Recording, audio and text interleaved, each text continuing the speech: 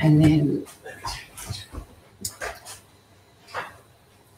set up my video. Hopefully it's all going live now. To check. So is anyone out there? Good evening. We're. Ah, we're live. So welcome everybody. It's always great to know you're live and everything's working.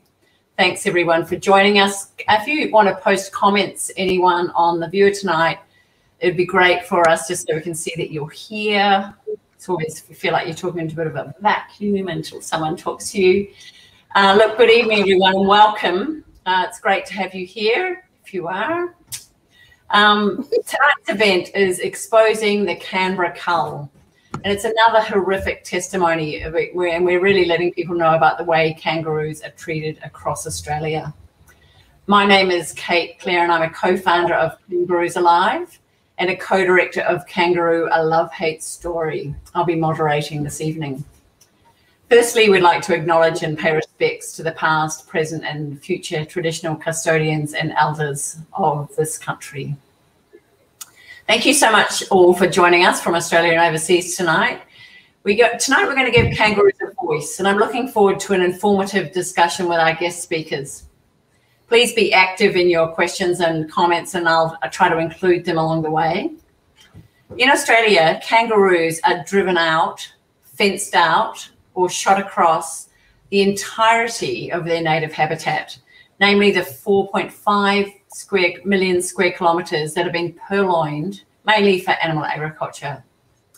So over the last seven years researching kangaroos for our award-winning movie Kangaroo: A Love Hate Story, I found the inhumane treatment of kangaroos in Canberra shocking, counterintuitive, and violent. Canberra is Australia's capital for people overseas, and it's located in the Australian Capital Territory, which we call the ACT, and it's governed by the ACT government. This government actively promote that one of the benefits of living in Canberra is its natural environment and the associated native wildlife. Canberra has often been called the bush capital because it's so many urban reserves. It also qualifies as the kangaroo capital compared to any other city. This is still what the Australian Capital Territory government says. And they create a sustainable bush capital means being aware of and understanding how to live alongside our local wildlife. Boy, that sounds great, doesn't it? Living in mm-hmm. Canberra. But Although Canberra is built on kangaroo habitat, until quite recently, kangaroos graced the streets and parks of Canberra. And Australia's National Parliament was so unique and world renowned for having the famous icon on the Capitol lawns. So that's something to celebrate, right? Well, apparently not, because in 2004, the shooting of kangaroos began when about 800 kangaroos were shot in the reserve adjacent to the Googong Dam. This was the ACT government's first direct foray into the world of mass killing of Australian wild kangaroos. Since then, many thousands of kangaroos have been shot and bashed to death under their jurisdiction. Why, you may ask? Not even the bush capital is a place that kangaroos can call home. Tonight, we have the great opportunity of hearing from some of the women leading the fight for kangaroos in Canberra. They've devoted large parts of their lives to researching, exposing, and fighting for the rights of our unique wildlife. We'll be discussing the ACT laws, the science, the media response, urban development, coexistence, the shooters, the police, and much, much more. So begin, we're, here, we're going to begin tonight by hearing an eyewitness account of what goes on in Canberra at night, so you can all get the picture of what this is, so and what culling actually looks like. So first up, let's meet Carolyn Drew. Carolyn's got a Master of Education and Teachers at the University of Canberra. For many years, she has campaigned to protect the kangaroo from ever threat, ever increasing threats to its existence in Australia. Carolyn is a, a prominent committee member of the Animal Liberation in the ACT for many years and is the Director of Regions for the Institute of Critical Animal Studies. So we'd like to welcome Carolyn and um, enjoy, I hope you, well, uh, learn something from her talk tonight. Okay, I'll just put her on so we can all see. Solo layout. Welcome, Carolyn. Um, welcome. Uh, sorry, are there echoes? No. I think we're. It's right. okay. Yeah. yeah okay. Um, bear with me, folks, because we're uh, fiddling around here on one screen instead of multiple screens, which always means that things don't go well. Um, uh, anyway, Canberra is surrounded by mountain ranges, forests, and pasture land. Uh, and there are 39 reserves. Uh, Carol, Carol, sorry, Caroline, can I just interrupt you? Did you want your slides yet, or are you going to? Um, because uh, it's on a black screen, I can put them up, oh. or yeah, just pop uh, pop them up. That's fine. Okay, cool. Let's do that. Okay. There, uh, there's no, there's it's a black screen at the moment for your slides. There you go. Okay, here we are. Uh, and in, uh, of the 39 nature reserves, anywhere between 9 and 15 are shot on or targeted each year by the government. And although the government announces which reserves will be closed for shooting, they make a public announcement. Animal defenders and the direct action crew never know which ones they'll shoot on from night to night. And although the reserves often appear small uh, to people, they're actually quite huge when you walk through them and they're very hilly. Canberra is a very hilly place. Um, certain reserves are repeatedly shot every year, which is pretty damning. Um, and this is how it starts. This is usually the first salvo, as you can see with this picture. Conservation head, that's the head of the conservation um, head of ecolo uh, environment, says nobody likes it, but the real rue is needed. So under the cover of darkness, direct action animal defenders enter reserves on foot, quietly and swiftly, looking for shooters and rangers. Suspicious activity has been reported by those sitting in cars out the front watching the reserves. So we have a group of people who um, park outside the entrances, and the reserves have multiple entrances. So I'm just checking my putting my time on. The reserves will have multiple entrances. So we have people uh, watching these, and then they will give us intelligence as to who's um, gone through an entrance, if they've heard anything. And the direct action animal defenders will then move on to reserve if, if, if it's needed. Uh, earlier, though, in the evening, government shooting teams, including park ranger guards, would have entered the reserve and set themselves up in hideouts in the tree lines with views of the area to keep watch for the defenders that might come on. The team use night vision equipment. The shooter uses night vision equipment. So there are no spotlights there are no lights because they don't want, if they use spotlights on the smaller reserves particularly, I'll just go through these pictures as I talk. If they use spotlights um, on the reserves, smaller reserves, we'd see them. So they know that we'd be able to find them easily. Um, but also the people who live in the suburbs are very close to some of these reserves, cheek by jowl in many instances um, they'll notice the spotlights as well. So in the smaller reserves, they'll also use silencers to try and reduce the sound of the shooting so that uh, the people who live near the reserve and the uh, animal defenders won't actually hear what's going on. Um, entrance gates are festooned, as we can see, with warnings about um, the um, shooting that's about to occur. Um, I've also included this picture because it, that's the other thing they do is they they kill kangaroos, but they also graze cattle on those same reserves. Um, of course, long before the cull, any of these culls have started or killings have started, the rangers have, I call it groomed the kangaroos.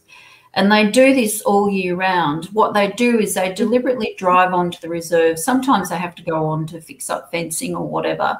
But a lot of the time they're just going on so that the kangaroos become used to the sound of their trucks, used to the sound of their voices.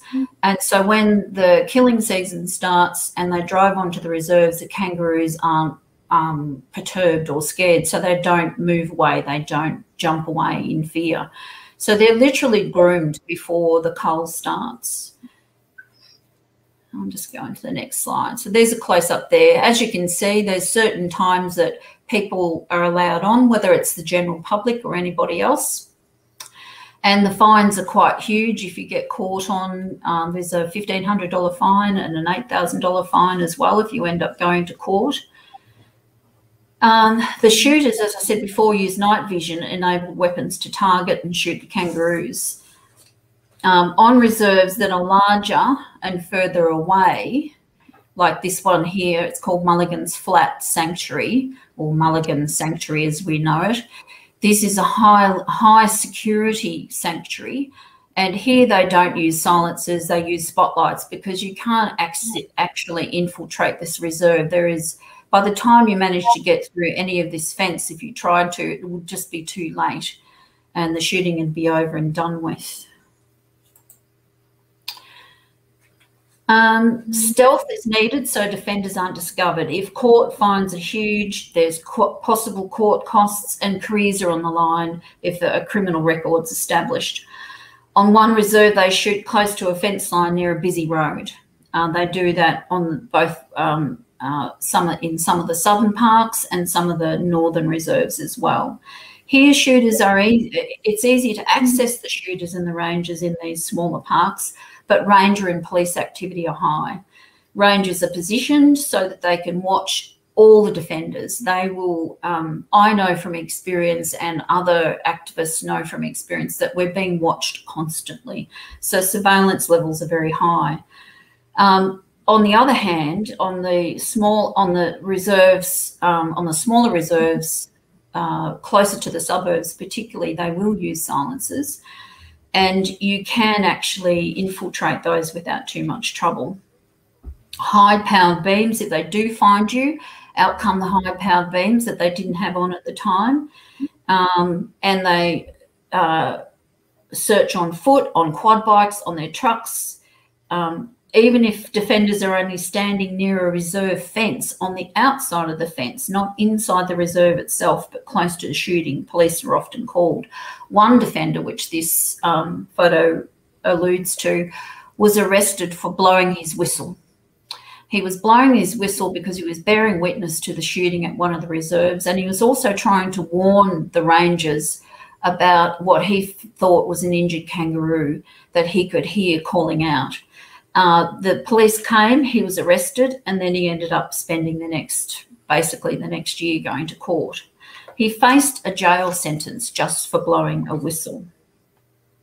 Yet other defenders, I'll just change my slide, yet other defenders crawl through the reserves on their hands and knees. They try and find rocky crevices, deep ditches, anything that they can hide in while the shooting is going on around them. Um, they're trying their hardest not to get caught, and yet at the same time trying to locate where the shooters are positioned. Um, yet others uh, will search in the middle of the night for burial pits. This is a day shot of a burial pit, and um, I don't know the. It doesn't seem to be very deep, but that's because there's already bodies under buried in there. Um, some some animal defenders actually found a burial pit at night and dug it up uh, because they were trying to find evidence for body shots, uh, jaw shots, neck shots, because uh, the um, headshot isn't always completed. And animal defenders can attest to that because you can hear it as well. Uh, one night, um, my own experience was one, uh, the, a memorable one. One night around midnight, I found myself surrounded by police Earlier on, I'd had a confrontation with a ranger who'd been following me everywhere because surveillance was high that year. Um, at one point, I uh, slammed on my brakes. I jumped out of my car and I just wrapped my hands. I hammered my hands on his window and asked him if he didn't have anything better to do. I yelled at him and I ended up saying some very unpretty words as well. Um, I was frustrated by his presence because I knew that the shooters had moved very close to where we'd been sitting for uh, a good couple of weeks, and we hadn't heard any shooting down the other end of the reserve.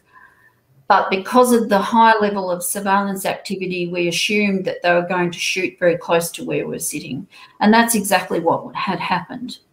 I had sat with these kangaroo families night after night, watching the young ones learn how to get through fences. I didn't know until I observed kangaroos because I've only ever observed kangaroos in the wild. I didn't know that um, the mothers would come back and reach, uh, go through a fence and then show their baby how to go through the fence. And they'd call out to their mums because they couldn't get through, and then finally they were able to do so. I'd watch them play in the semi darkness, moving through the reserve. So I got to know them really well. Um, I looked um, in my Carolyn. You just got oh, just got another minute, and then we'll get some questions if that's okay. Yeah. Okay.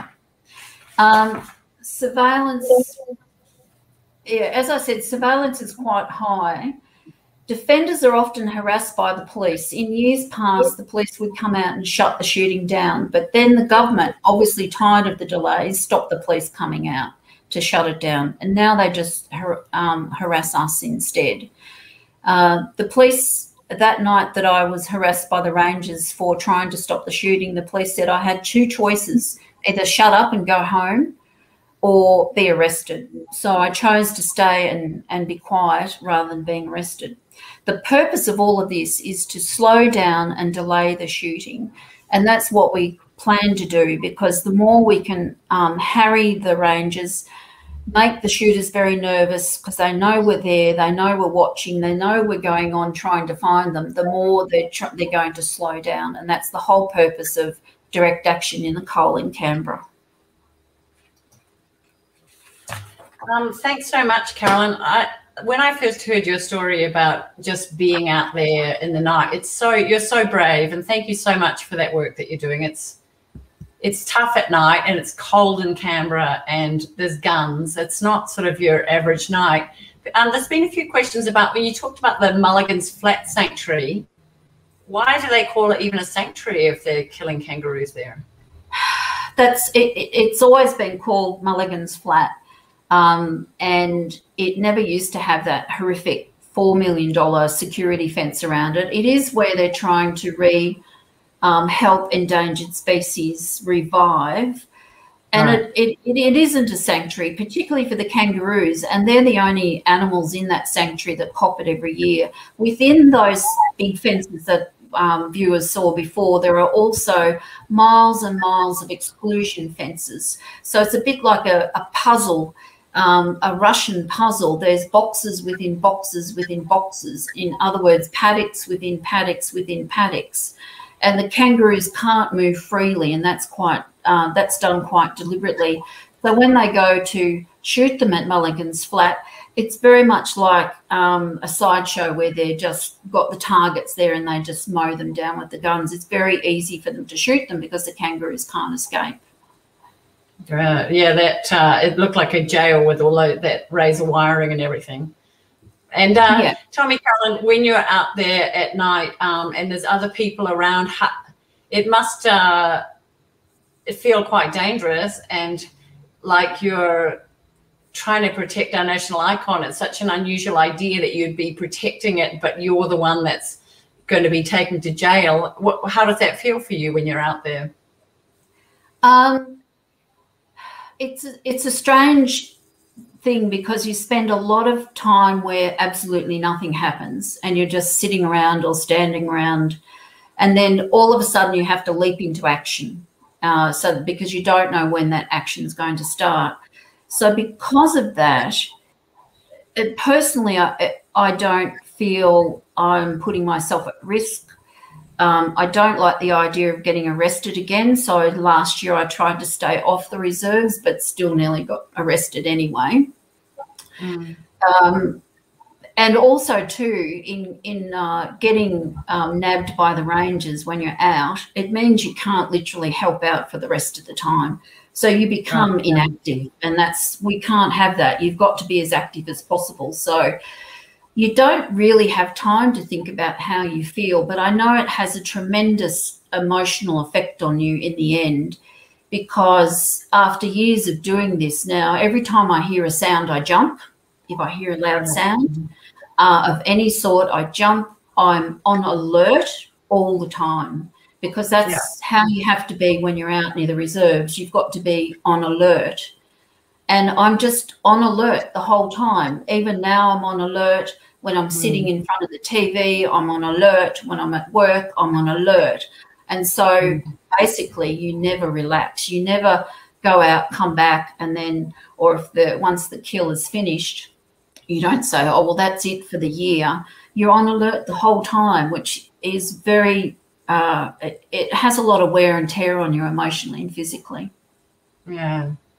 Hey, well, thank you so much, Carolyn. It's been amazing to hear your voice. And just to sort of, we're just getting a little bit of the introduction into Canberra tonight. This is what's happening for people in Canberra. In fact, we put the uh, hosted this now at the end of April because we're expecting it to start in May in, in June in the next few months. And we're just uh, wanting people to really know what's happening. This is happening in Canberra year after year. So thank you so much for your work. And now I'd really like to introduce our next speaker who's going to talk to us a little bit about the implications of why they keep doing this to, to uh, kangaroos. Um, I'm just going to do the do this and Carolyn there. So, like very much now to welcome uh, Frankie Seymour. She's been an activist for much of her life and spent the last decade focusing on kangaroos. Frankie's an environmental scientist and co-founder of the Animal Protectors Alliance. Uh, she served on the Sea Shepherd in 1981, 1982, and published a book, All Hearts on Deck, about those campaigns. She's also she's been doing this for a long time, from 1986 to 2012. She was president and or committee member of the Animal Liberation Act, uh, Animal Liberation and the ACT. Is now a life member. Thanks for your great work, Frankie. She's also served for many years on the Animals Ex Australia Executive Committee and the Animal Welfare Advisory Committee to the ACT government. In 2016, Frankie stood for the Animal Justice Party federal election and ran again in the 2019 New South Wales election. So welcome, Frankie, and thanks so much for talking to us tonight. Well, thanks for hosting it. Um, from a, a, purely scientific, I'm, I'm only going to, I'm just going to read some notes because if I talk, I'll just go off on tangents. So I'm just going to read. I hope you can cope. And I don't have slides because I'm not high tech.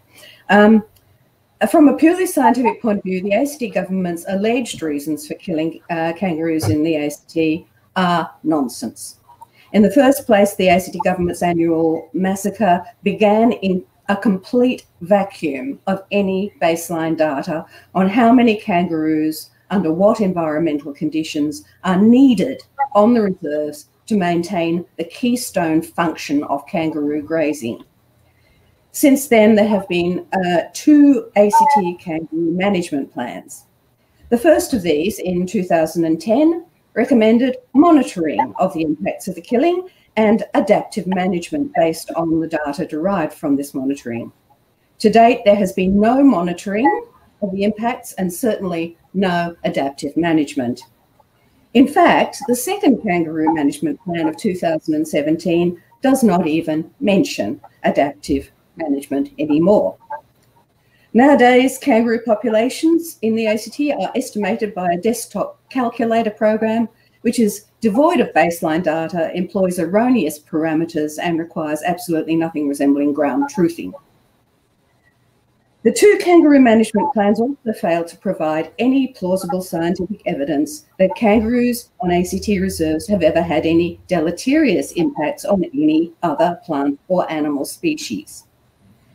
There has never been any scientific basis for the kangaroo management plan's assertion that current knowledge, their words, uh, uh, indicates that one kangaroo per hectare is a desirable density. That's the assertion of the kangaroo management plan, that current knowledge uh, indicates one per hectare is good.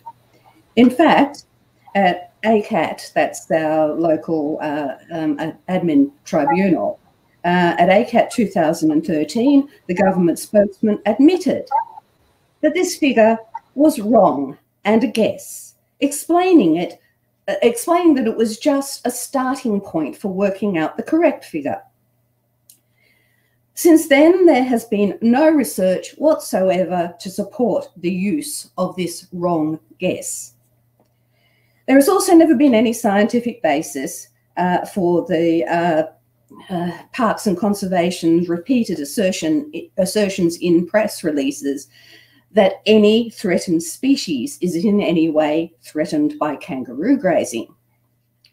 Again, at ACAT 2013, the government spokesperson was confronted with the fact that no threat abatement plan or recovery plan for any of the threatened species identified in the press releases mentions kangaroo grazing as a threat.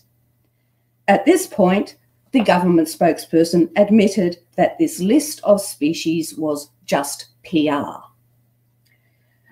Again, at ACAT 2013, the government spokesperson admitted that the ACT government's only indicator for biodiversity was volume of grass. The entire basis for his assumption that kangaroo grazing has a deleterious impact on the reserve ecosystems was because kangaroos eat grass. In my view, any competent ecologist or other environmental scientist understands that it is diversity of vegetation, not quantity of grass, which is the indicator for broader biodiversity. Kangaroos, by every aspect of their physiology and behavior, maintain diversity of vegetation. Numerous plant species, some high grass, some medium grass, some low grass, some bare soil. Another admission by the government spokesperson at ACAT 2013, and perhaps the most telling of all, was that the Kangaroo Management Plan's recommendation to kill 30 to 40% of kangaroos every year was in fact killing kangaroos four times faster than it is possible for kangaroos to reproduce themselves. To explain this, he admitted, and this incidentally was contrary to the evidence he had given at ACAT under the same president in 2009 that this level of killing was needed not because of reproduction, given that this population replenishment was impossible by reproduction, but because populations were being replenished by inward migration. The shocking thing about this admission is that if inward migration is always going to replace the kangaroos killed then the killing is clearly achieving absolutely nothing. Even more chilling is the fact that this inward migration can only continue as long as there are kangaroos outside the reserves available to move in. Given that all the kangaroo habitat, kangaroo habitat in the ACT, which is outside the reserves, is being systematically devoured by developments of various sorts, this inward migration simply cannot continue much longer. Recruitment from outside the ACT is also likely to dry up very soon because of the um, uh, unregulated slaughter now underway on rural lands in surrounding New South Wales, where the entire population of eastern grey kangaroos has been estimated on the basis of lost habitat to have been reduced to only 11% of the population at the time of European settlement. What is in fact happening is that the ACT reserves are being used as sinks to draw in all the ACT surviving kangaroos to one place where they can be easily exterminated. A neat and permanent final solution. The Kangaroo Management Plan of 2017 finally got around to at least attempting to proffer some evidence that kangaroo grazing is damaging to other species inhabiting the reserves. It refers to eight papers, although there are actually only seven since one of them doesn't even mention kangaroos. These seven papers are in fact by only five primary authors, since one of the authors is responsible for three of them. This particular author is in fact a former employee of ACTA, CT, ACT Parks and Conservation. And on two of these papers, one of his co-authors is the ACT Government Chief Ecologist. Most of these seven papers have co-authors and most have at least one or two or three shared co-authors.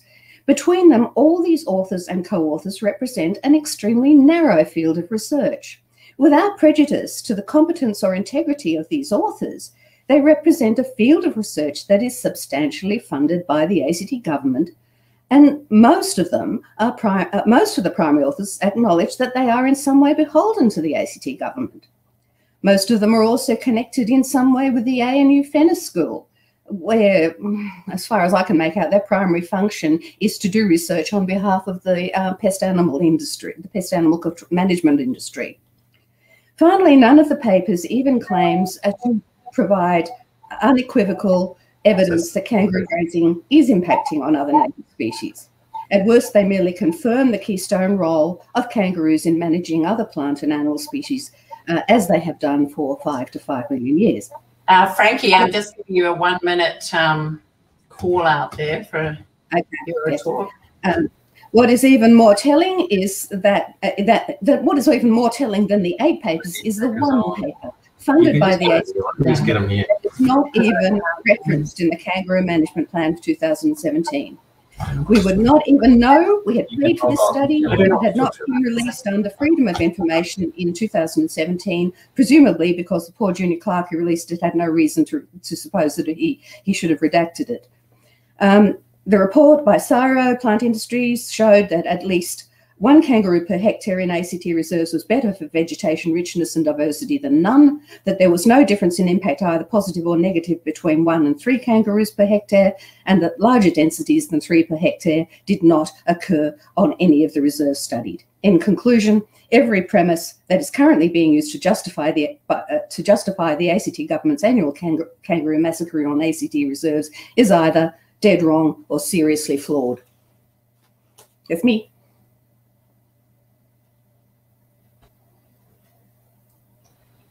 Thank you so much, Frankie. That's fantastic. Uh, I'll just put me back up again.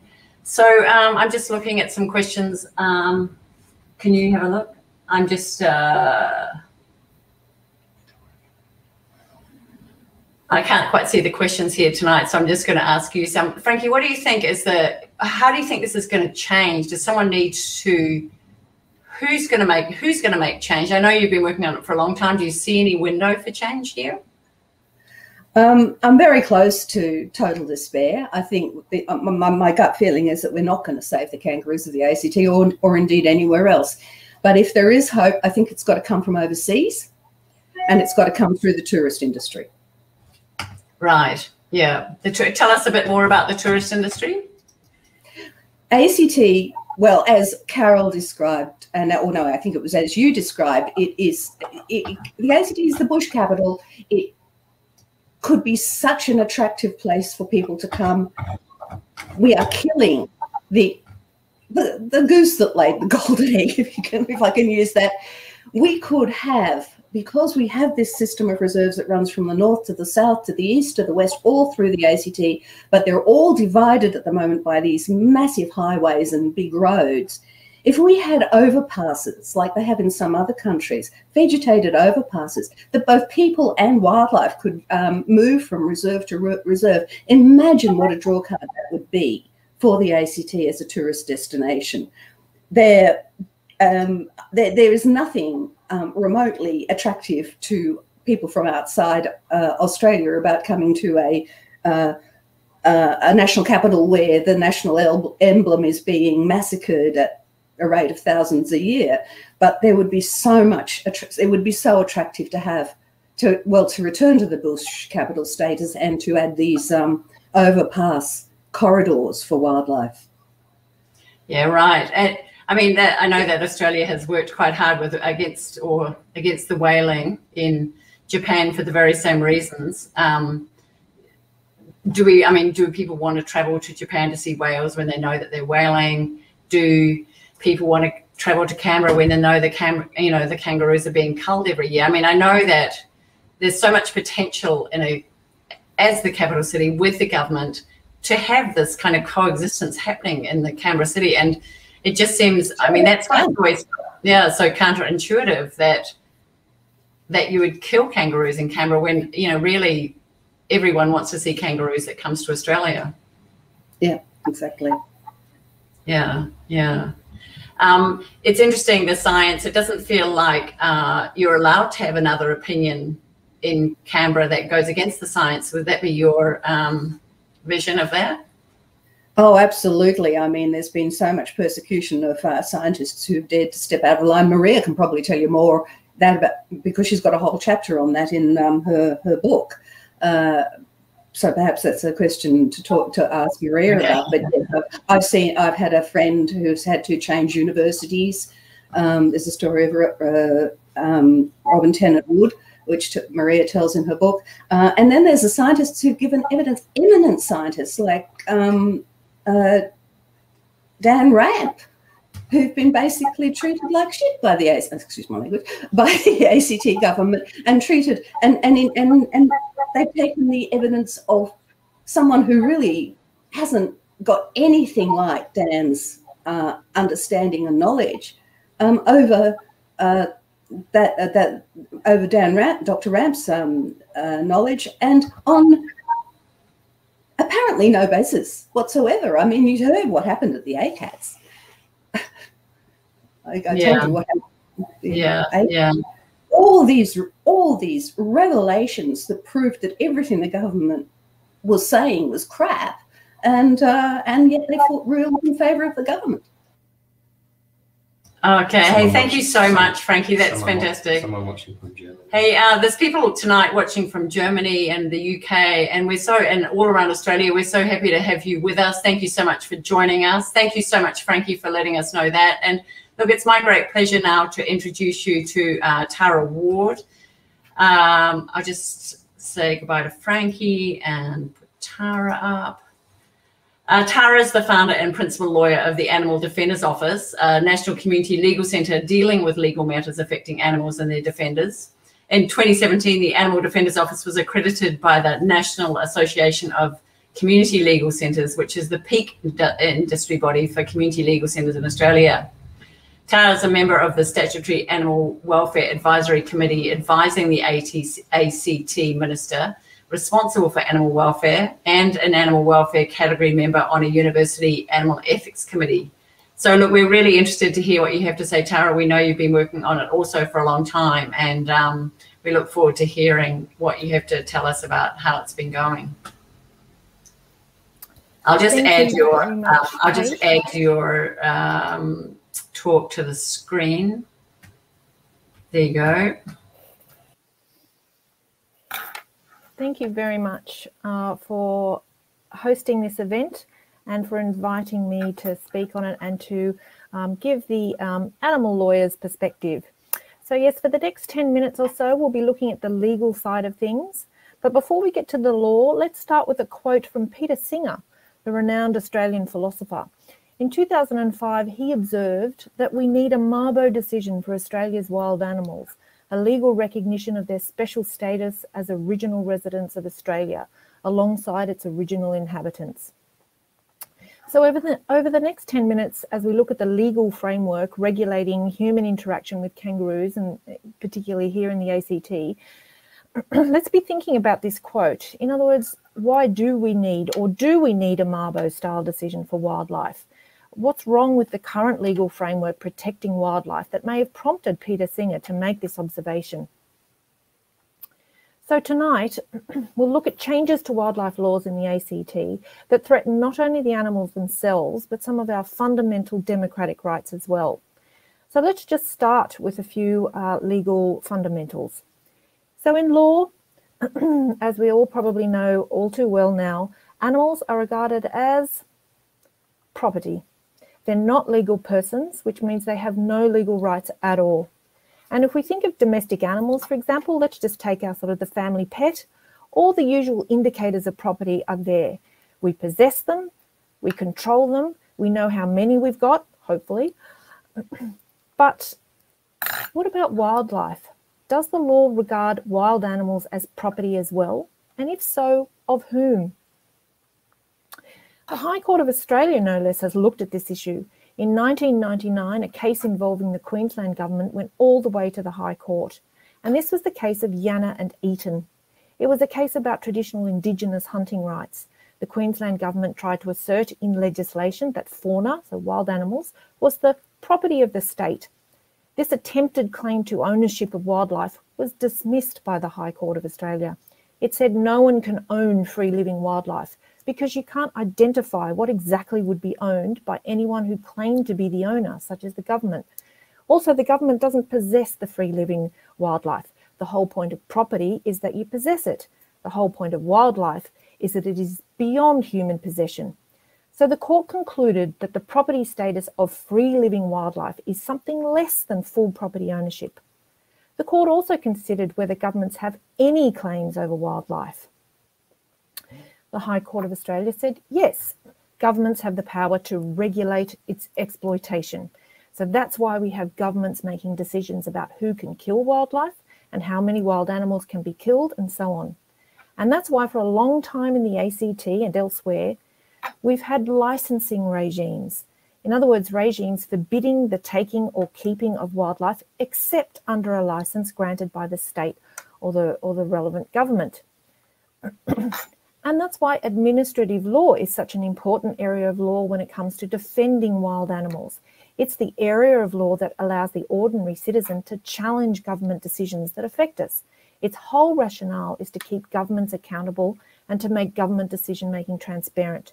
That's why taking legal action to protect free living animals often happens by way of challenging government decisions to grant licenses uh, to kill them. In the ACT, for example, as Frankie has already um, mentioned, we've had three administrative law challenges of the ACT government's kangaroo kills that take place in these nature reserves, in other words, public land, on alleged conservation grounds. The kangaroos are killed by private kangaroo shooters whom the government hires and on behalf of whom one part of the government applies for a license to kill and another part of the government makes a decision to grant those licenses. The culls are announced very suddenly with very little warning. So, in all three challenges of the decisions to grant the licenses, an injunction was sought to stop the shooting that was about to take place, or in some cases had already started.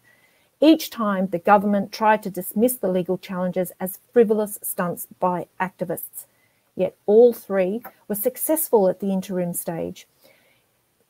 In other words, all three successfully obtained an injunction, meaning they satisfied the threshold legal test that the material before the tribunal indicates that there is a serious issue to be tried on the substantive application. All three applications did go on to substantive hearings, and even though they were ultimately unsuccessful in stopping the entire cull, they tested the law and made some important legal gains. For example, the first challenge established not only that an animal rights group could be and was affected by the decision to kill kangaroos in the ACT. So, in other words, not an individual directly affected by the decision, say a resident who might live nearby or near to a nature reserve and claim that the shooting at night, late at night, um, is, a, is a nuisance. so, we're talking about a group here, but also a group that didn't even have to be from the ACT. So, in that case, Animal Liberation New South Wales established that it had interests affected by a decision by the ACT government to allow kangaroos in the ACT to be killed. So, this was a breakthrough in the law of standing. The next case made significant gains as well, as Frankie has already mentioned. The tribunal actually agreed the government had got its calculations wrong about population densities and ordered the government to redo its numbers, which resulted in fewer kangaroos being killed. And then in the next case, for the first time, the applicants, a local group, Animal Liberation ACT, and represented by the Animal Defenders Office, asked the tribunal to accept that animal welfare was a relevant consideration in deciding whether to kill kangaroos on public land. Extraordinarily, this was the first time the tribunal had been asked to consider this. The three members actually had to adjourn the hearing to deliberate, but eventually held that yes, animal welfare was a relevant consideration in the decision to grant a license to kill kangaroos. Also, the case resulted in the important finding about the unconscionable impact of the culls on at-foot joeys. Our barrister got one of the government's chief witnesses, a vet who had overseen a recent cull, to admit that hundreds of at-foot joeys would have died a slow, painful death from starvation, dehydration, or predation as a direct result of the cull. And their deaths are not counted in official cull numbers because they die alone and after their mothers are shot. Our barrister coined the poignant phrase of this being a ghost population of at-foot joeys. It was amazing how he got the vet to admit that in cross examination and how he proved it to the tribunal, but that will have to wait for another time. The main thing is to this day, the ACT government hates this idea of a ghost population of joeys killed, result, killed as a result of its culls and tries to this day to debunk it unsuccessfully. Anyway, Remember that these challenges were possible because the government regulated human interaction with wildlife through licensing regimes. and the decision to grant a license was a reviewable decision. In other words, the decision to grant the license was specifically referenced in the relevant act, as was who could apply for review, being an entity whose interests are affected by the license. But the government did not like its decisions being challenged or being held to account. So, what did the government do? Make better decisions? Maybe hold a moratorium while it evaluated the culls and the putative science that allegedly supported them to assess whether the culls were based on sound science and were achieving their alleged conservation aims and reassure the community of this. No. Instead, it looked for ways to stop groups from challenging its decisions. How did it do this? Uh, one of the ways it considered was rather than uh, apply for a license every year, let's apply for a license every five years. So there's only one decision every five years that can be challenged. But then it came up with an even better plan. And that was let's get rid of the whole old act and uh, under which licenses could be applied and bring in a new one that contained a mechanism that would be a much better way of stopping challenges to its decisions to kill kangaroos. In short, and that's exactly what they did. And this new act allows a single minister to change fundamentally the kangaroo's legal status and basically declare them to be a pest or, in nicer language, controlled native species.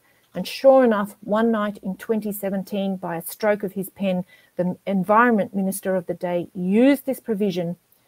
And in a single page, he declared that the eastern grey kangaroo is now a controlled native species in the ACT. One thing to, is, uh, to note is that it does only apply to eastern grey kangaroos and not other species of macro, macropods. But why did the minister do this? What was the official reason? The explanatory statement for the declaration says the minister is satisfied that the species, eastern grey kangaroos, is having an unacceptable environmental and economic impact in the ACT now, remember, of course, that we are talking about a local native wild animal who has been in the area for millions of years. And the next question is what are the consequences of a native species legal status being changed in this way? The first thing is that once a species has been declared a controlled native species, a draft management plan must be prepared before any control action can be taken about the species. And once the plan has been finalised, it must must be implemented. That is a legal obligation. And for eastern grey kangaroos, what does implementation mean? Of course, it means they can start to be killed. But how does this killing happen under this new act, this new regime? Are licenses still required with reviewable government decisions? In short, no. Under the new act, the relevant government authority can simply authorise another person to take action to implement the plan. And this has a whole heap of consequences. There is no reviewable decision. So that means all the old benefits of reviewable decisions, including an obligation on government to notify those affected by the decisions, and then those entities being able to get a statement of reasons for the decision and then seek merits review, are now all gone. And this is why critics of the process spoke out loudly against what the government did. For example, Animal Liberation ACT put out an, uh, a media release, as did the Animal Defenders Office, which talked about the assault on the fundamental principle of accountable and open government decision making. And of course, while it's eastern grey kangaroos today, it might be magpies tomorrow, or flying foxes, or wombats, or currawongs, uh, or any of those species that the government of the day doesn't like who are dealt with in the same way. And it will be so much harder for citizens to stop this happening or to do anything to challenge what one or two bureaucrats or politicians decide behind closed doors about how these species should be treated. So, as uh, in uh, as we as I um, near con concluding, let's just look at uh, whether there are any ways of challenging these kills if merits review of a decision to grant a, a license to kill is no longer possible. Well, the Animal Defenders Office tried one way. If we quickly look back at the law, the Minister's declaration is actually a disallowable instrument. So is the Controlled Native Species Management Plan. Now, this means very quickly that a member of the Legislative Assembly, which is our parliament here in the ACT, can move a notice of motion to disallow the instrument within a certain number of sitting days, which can be um, end up being quite a long period of time. So the Animal Defender's Office decided who can we visit? It's no point in visiting the major, uh, uh, in trying to lobby the major parties as they both support the cull. So we thought we would uh, lobby the ACT uh, Greens to see if they would consider moving a motion to disallow the plan, uh, the Controlled Native Species Plan.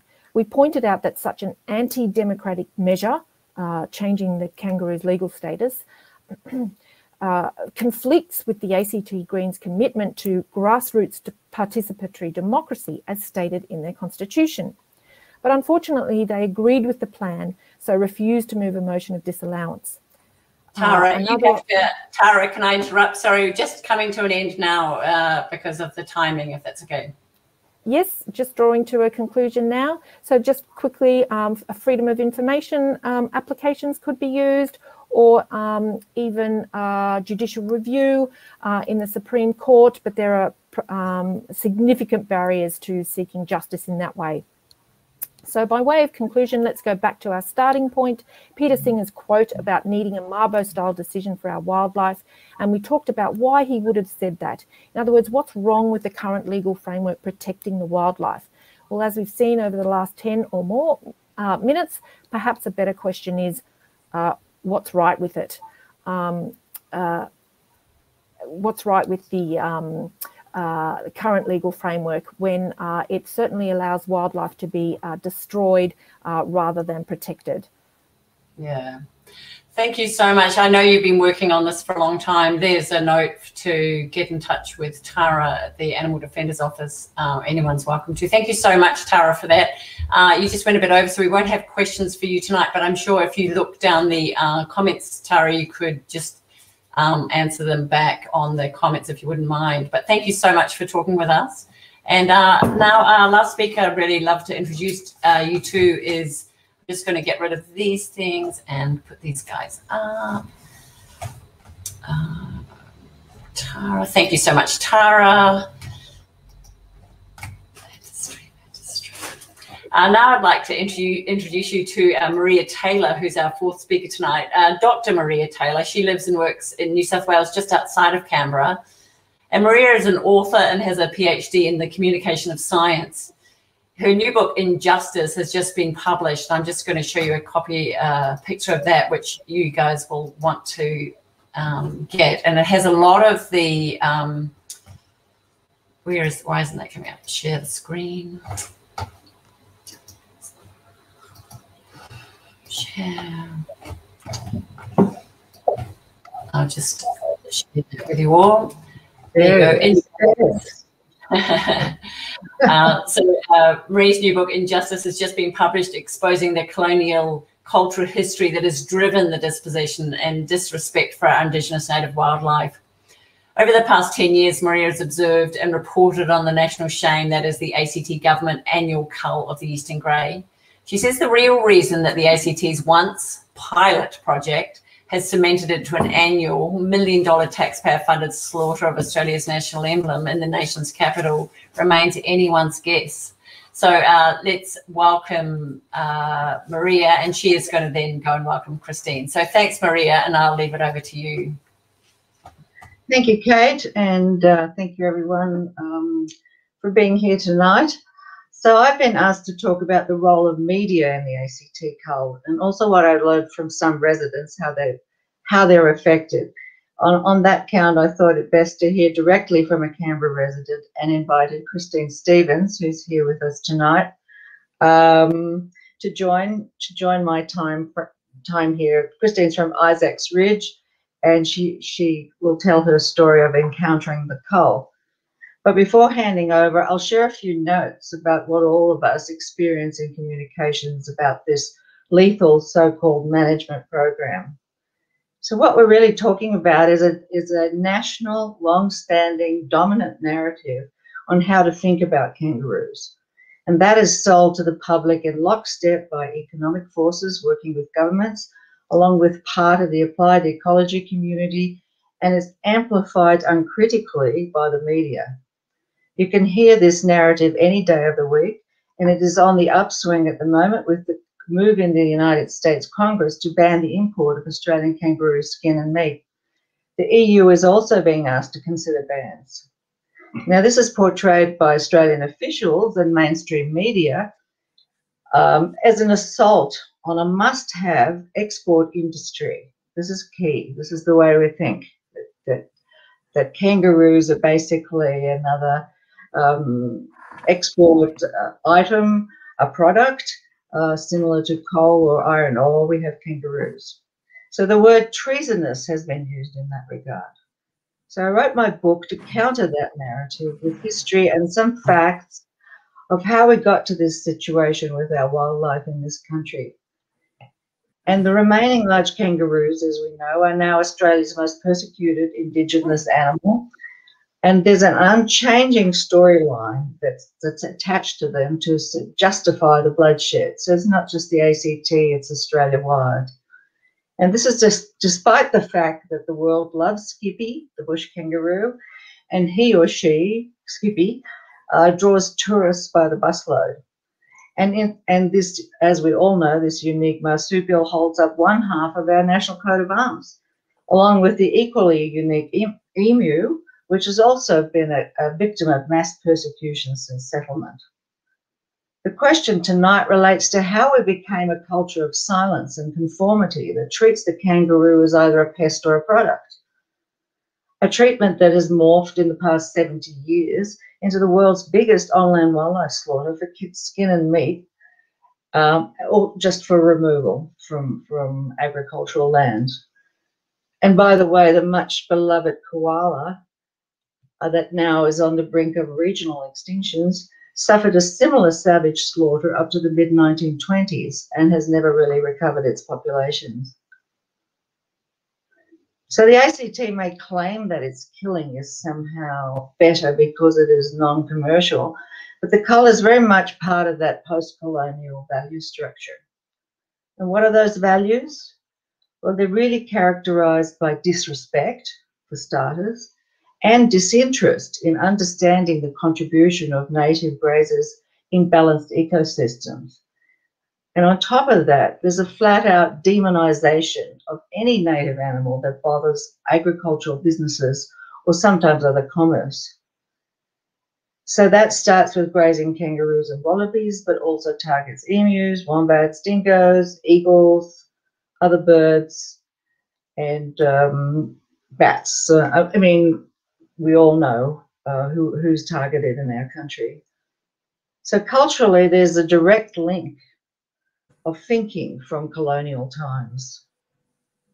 So if you could put up that Narendra slide, Kate, that um, kind of gives us a sense of what was happening in the interim. Um, so this thinking has become so embedded in the dominant narrative that any claims about too many and that our export nation and farmers need kangaroos to be killed just gets an automatic nod from most media reporters and also from most Australians who don't give it much thought. The Canberra cull is related in cultural understanding and dog whistles pest and too many.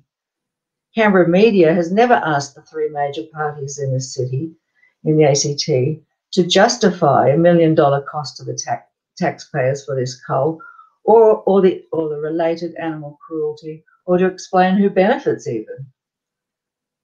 Anyway, the Canberra advising ecologists, as we've heard from Tara and from Frankie, have pivoted to another compelling narrative that deflects inquiries.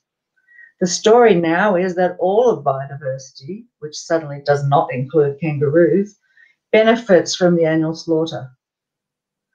Females and pouch joeys and dependent young can be killed more freely under this framework. And Canberra media has not questioned why the government is now bringing in ex-military types to hunt down the survivors in the suburbs and on the reserves. This culture of disrespect and killing is across Australia. And the commercial, and this is another factor that plays in in the ACT definitely, the commercial kangaroo industry has a very active PR operation and often relies on supporting, on supporting voices that say, trust us, we're scientists. And the ACT narrative has relied on similar claims of scientific insight. So a lockstep narrative demonizing another group is usually called propaganda. We all must think alike about kangaroos as things to disrespect and rightfully to be shot and stuffed into pet food cans or thrown into pits as you've seen in the ACT. And all of this means that if you do a content analysis of Australian media reports, you find there are seldom or never any balancing voices that question kangaroo narratives or that shine a light on the cruelties of the kangaroo harvesting, so called, the euphemism for the world beating slaughter for pet food and skins. So, what's missing? Well, what's missing is any reporting about the benefits of coexistence and what, what that might look like. Missing is research on kangaroo roles in their ecosystem. What what do they contribute to healthy grassy woodlands? They co co-evolved with those habitats. And what could kangaroos and other wildlife contribute to Australia, to Canberra, and to farm economies through ecotourism and coexistence? All told, we need a new respect, understanding, and sharing with our common wildlife. And that, by common wildlife, I mean those that are not already endangered, before it's too late as the world rapidly loses biodiversity. So, on that note, I'd like to hand over to Christine. Um, I'd like to express my hope, though, before I do that, that the ACT government does not again spoil Mother's Day by announcing its awful cull is starting about then. So this this image was uh, at my house, at my at our property. Um, so introducing Christine. I met Christine Stevens around June 2016, and Christine had a heartbreaking story to tell me, which I reported for our online publication, the District Bulletin, of what happened to what she called her longtime friends, the kangaroos on Isaacs Ridge. And the whole suburb was affected, and her story is in the book too. So thanks for joining me, Christine. And can you tell us what happened on that June long weekend and your observations on the on the ridge before and after the kangaroos were shot?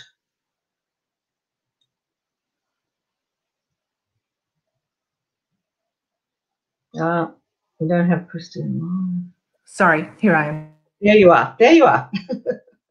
if I might just set the scene. Uh, our suburb is 30 years old. Um, we were some of the first residents here, and we have walked the ridge um, for the entirety of that time. We, like Maria, had our garden visitors. Um, the roos would come down from the ridge. Um, they'd mow our grass, they'd fertilize our grass. They were the perfect uh, host. They were like lawnmowers in that they kept it to just the perfect level. They never went too deep. They never disturbed the grass. They never left footprints. They're very soft. Uh, they're very gentle. Um, and they were very friendly. We have them passing through. You'd see their footprints in the frosty morning, but no more, sadly. Um, we had four main species on Isaacs Ridge. So as you walked up through the forest, up to the pasture, the open lands near the top, you saw originally the swamp wallabies, uh, very shy creatures. Then you moved up and you saw the Euros, which were beautiful, gentle kangaroos in the middle. Uh, then near the top, we had the red-necked wallabies, and at the very top, we had the eastern greys. And they would let us move through, and amongst them, you could walk. They didn't bother. They weren't concerned. They were never aggressive. It was just a beautiful environment. And we had many international visitors, very many people from the embassies would come down. I've seen walking groups, tour groups, childcare groups, um, all visiting the ridge. Um, now things have changed. It was in back at that time in 2016 when suddenly the reserves were closed. Uh, we would be penalised up to $7,500 if we went onto the reserve after 5 p.m. at night or before 7 a.m. in the morning. Um, the danger was firearms, and firearms are very close to the residences um, uh, at this property. Uh, at the very top, they're less than a kilometre, and I have seen tracks that have been right next to the houses, uh, tracks from the vehicles of the shooters. So they put up this sign. Uh, it was a cull that was the reserve was closed for two and a half months, um, and that was extended to three months the subsequent years. Although they didn't use all that time to shoot, and they would release it a little bit early. But basically, we couldn't walk our dogs um, at the usual time uh, before and after work. Um, But the tragedy was that we knew our friends up in the ridge were in danger. We just didn't realize how much that danger would be. So it was in the June long weekend, um, a Saturday night, I went up. Uh, I was sure to make sure I was out by five. And I was wandering along the ridge, and this was the beautiful family group, very healthy, robust kangaroos with little young sitting in the last rays of the sun on a winter's evening uh, as it went down. They were just quietly there, uh, preparing for the night. I went on 200 meters and the shooters were there, just over the crest of the knoll. Um, the shooters were preparing themselves. They had their tip truck, they had their digger, they had uh, their four wheel drive ATV, they had two park ranger trucks, and these steely men were there. They were closing the gate. A bearded fellow pointed, saw me, pointed to the watch, and said, You know, you've got to get out of here now. So I headed out. I was too terrified to even approach them. I was too terrified to go back and try and chase the kangaroos away. Um, I was exiting, and one of the park ranger trucks kept following me. It was five paces behind me. It wouldn't let up. It had its lights on, although it wasn't dark, as you can see. Um, and it was incredibly intimidating. As I went down, there were people coming up into the forest because those signs weren't adequate. They were put up three days before the cull started. People enter onto that reserve without actually knowing it was there. It wasn't advertised in the press. It, it um, letters were meant to have been sent through to the suburb, but I never received one, and no one else that I know of has either. But the residents were distressed because night after night they would hear the shooting, they would hear the guns. They knew that these beautiful creatures were being shot, and indeed they were. And now we have no kangaroos left. I've seen one swamp wallaby and five kangaroos on a 387 hectare property, which can hold up to 387 kangaroos even on their own figures. And the culling would suggest that you're removing um, according to specified criteria. There is none of this. You can see the blood that was left on the ground, just on the path where we walk with children. Um, it was incredibly distressing. So there, there could be up to 387 kangaroos under their own their own figures, but I have seen five over a 12 month period and one small wallaby. So it is incredibly distressing. We don't have them in our gardens anymore. They're not passing through the suburbs. They're not sitting outside the embassies as they used to do. They were always around the embassy properties. So it's been immensely distressing. And if, ah, and if you look at the beautifully mown grass, that's the grass before they started the cull. The kangaroos kept it immaculate. They never went too far. They always made sure there was enough to eat on. The other picture with the thistles is the very same property after five years of culling. The kangaroos are no longer there. And now it's overgrown with thistles. The concern for the property, the reason for the cull was to preserve the native species. The native species are 40, 30 metre trees, 15 metre trees. The yellow box is strictly bark, stringy bark gum. So um, they're not a problem for the kangaroo.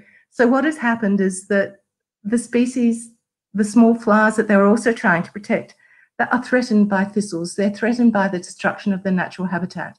The destruction of the natural habitat has happened there because it is a pine plantation, as you can see. And the other part that isn't a pine plantation has been horse agistment paddocks. So there is nothing on the Isaacs Nature Ridge which has not been affected by um, human habitation, by a change of use, um, destroying the original habitation. So the arguments are spurious as to reason for the cull. The kangaroos actually are self-limiting and don't overpropagate, so they will never starve. Um, so yes, excuse my distress, but it has no, been a very sad event. Thank you so much for that, Christine. It's a, it's devastating to hear just what it's like for people living near the kangaroos. We know it's devastating. We know it's violent, and we know it's worse for the kangaroos, of course. So you know, to have that close relationship, which all Australians would be so lucky to have. Uh, it's really devastating to hear what it's been like in your backyard. And thanks to Maria and Christine for sharing that. Um, look, I'm sorry we've kept you all um, online for a bit longer. We've just got a few more bits of updates to let you know. Um, thank you so much to everyone tonight. We really appreciate you coming on.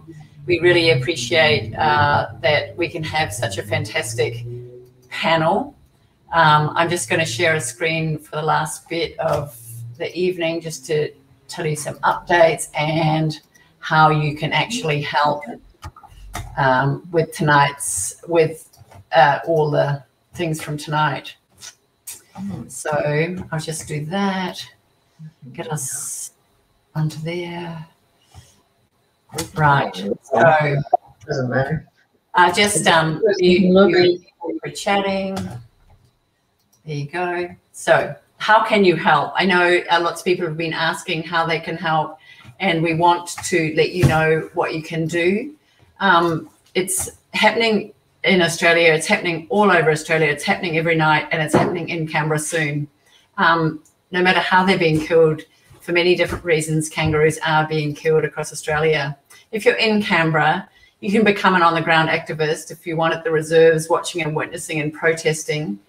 Um, and you can also donate lightweight spotlights, especially headlamps, lightweight video cameras. Um, talk to these people. You can info them, and there's the um, information. I'll put that up um, on the chat line as well later, so you can, if you want to come back for these details, they will be there. Um, if you don't live in Canberra, you can email these people and just let them know that you're you want this to end. You're not interested in these kills on public lands in Canberra. Um, I'll uh, these people. I'll let you know their all their information. Uh, you can write to them directly and talk to them about what your point of view is on the purpose and sadness of killing these kangaroos in Canberra.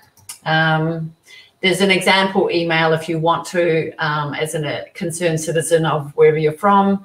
I urge the ACT government to end the unethical killing of kangaroos on public land in the ACT region. If you'd like a, a sample or a more comprehensive email, Animal Liberation ACT will help you if you want to email them directly.